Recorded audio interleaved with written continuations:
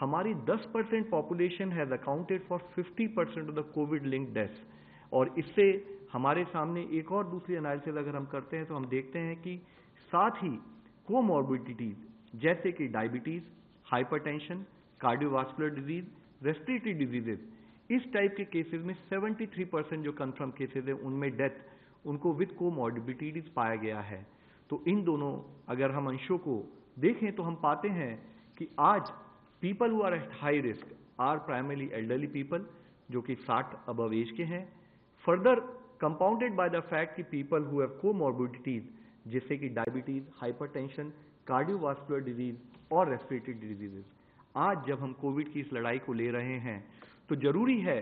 कि जो भी हाई रिस्क में हमारे देश के लोग हैं, वह हमें सपोर्ट दें, वह रिक्वायर्ड प्रिवेंटिव एक्शन लेते रहें और साथ में अपने सिम्टम्स के बेसिस पर वह जो भी मेडिकल एडवाइस और मेडिकल फॉलोअप वह करें। ज़रूरी है